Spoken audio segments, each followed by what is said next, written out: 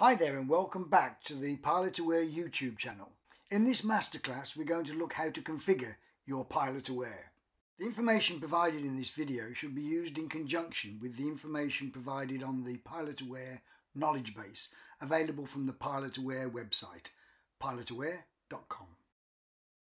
As you've seen in other videos, your Pilot Aware unit connects to your iPad or smart device via Wi-Fi to do this, you will need to log on to your PilotAware Wi-Fi using your smart device.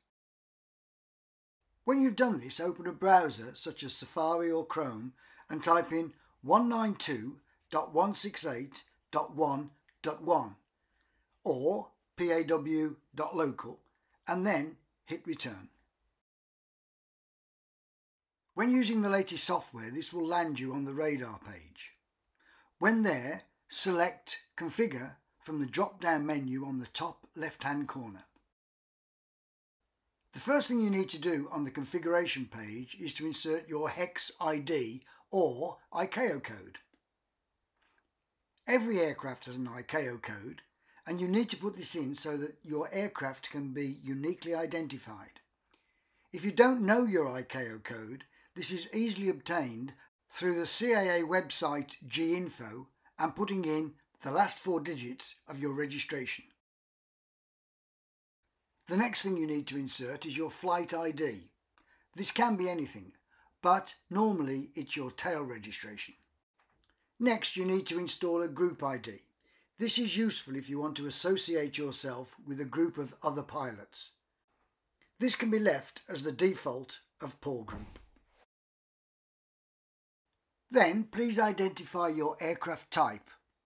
This can be chosen from the drop-down menu and this helps to identify your aircraft when plotted on a screen. With the latest software there is a new feature called the Aircraft Transmit Speed.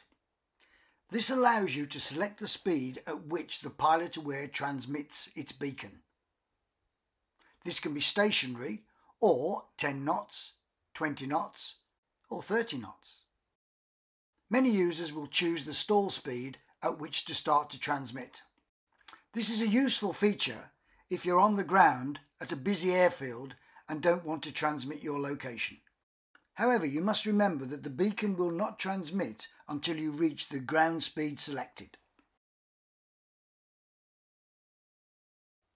The next configurable item is whether you want the ground station displayed on your electronic flight bag or radar screen. This can be enabled through the drop-down screen. Below the Display Ground Stations tab are the four boxes into which you install your license key. Please ensure you install this correctly. A common mistake is to confuse 0 with O, Oscar, and also confuse 8 with B. So check your license once you've put it in. In the next tab, you select whether you want to see bearingless targets. The drop-down menu gives you variable options depending on what kind of transponder you have fitted. If you have a Mode S transponder, we suggest you choose Mode S plus filter. If you're uncertain what a bearingless target is, or you want to know more information, please visit the YouTube channel and the video on PilotAware Rosetta before you make your selection.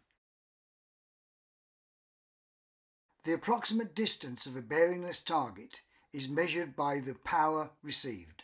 In the next box you can determine what that power should be. The absolute distance cannot be measured, but we use the rate of change of power to determine whether it is coming towards you or going away.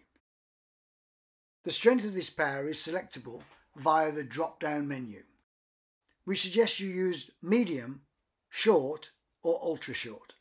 The range suitable for your style of flying will be determined through experience. If you choose medium or long ranges, then expect not to see the aircraft that are detected. This is because the signals will be coming from distant aircraft with very powerful transponders. The vertical separation of a bearingless target is much more accurate. The next tab allows you to set the vertical limit to which targets will be reported. We recommend 2,000 feet. In order to overcome the limitations of bearingless targets, PilotAware has developed Mode S 3D. This development, unique to PilotAware, uses the ATOM stations to provide the GPS coordinates normally missing from a Mode S transmission. The advantage, of course, is that you have the ability to detect Mode S aircraft within the United Kingdom and Europe and plot them on a screen. So long as you are in range of an ATOM station that is being fed with MLAT data from 360 Radar Limited. The latest SkyGrid development will also increase the range in which you will be able to detect Mode S traffic. Before enabling Mode S 3D, it's recommended that you read the document on the PilotAware website which explains how Mode S 3D works and its limitations. PilotAware will also give audio warnings and you can select the audio warning zones from the drop down menu. The choice is step down from 10 kilometers to 3 kilometers or you can turn off voice alerts entirely by selecting no zones. This configuration only affects PilotAware voice alerts and does not stop voice alerts coming from your electronic flight bag if they are provided by your supplier such as SkyDemon. The next two configurable items only apply if you are exporting data from PilotAware to other devices such as glass cockpits that cannot filter the data. These configurable items allow you to filter the data at source so that you can get the correct visualization on your external device.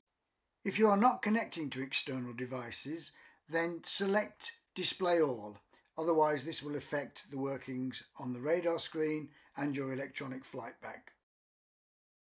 If you do want to filter, then this first tab allows you to filter the horizontal sensitivity. Second filter allows you to choose the vertical sensitivity. But don't forget, if you're not using an external device like Dynon Skyview, choose All. This next tab is very important and selects the protocol that you are going to use to connect to your external flight bag. An external flight bag is a generic term for applications such as EasyVFR or SkyDemon. Each electronic flight bag has its own specific protocol that needs to be inserted here. For example, when using SkyDemon, it is very important that you use PilotAware UDP to ensure you don't get inter-device lockouts. The next configurable tab determines the output volume that goes to your intercom or other device for the voice alerts. This ranges from 0 to 10 and the level you set depends on the input device into which you are providing the audio alert. The output from the PilotAware comes via a 3.5mm jack and the best devices into which to interface this are the intercom or your aviation frequency radio. It is also possible to cable direct to noise cancelling headsets or to traditional David Clark headsets although the latter will require a small amplifier in between.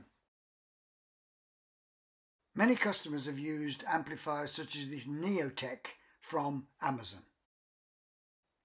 One of the very innovative things about PilotAware is that it can be connected to other devices, such as FLARM, to give you FLARM in and FLARM out and greater interoperability.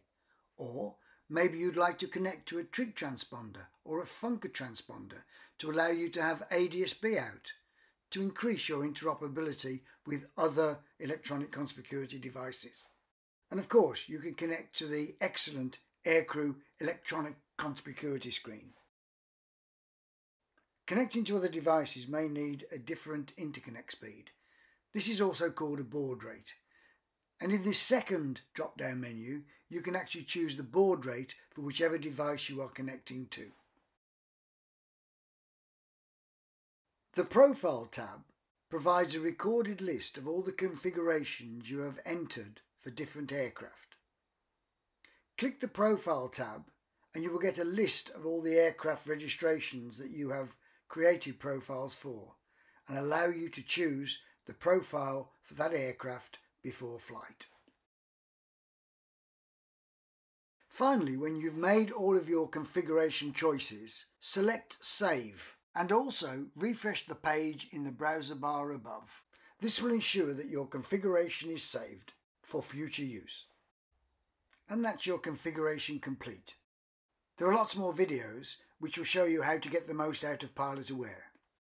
And an amazing amount of information on the knowledge pages on the PilotAware website that will tell you about the most interactive electronic conspicuity device available today. So that's all for this video. Please like and subscribe so that you get notified of all the new videos that we will be bringing out with all the new features of PilotAware. Whoops, I shouldn't have showed you that one. Something for the next release.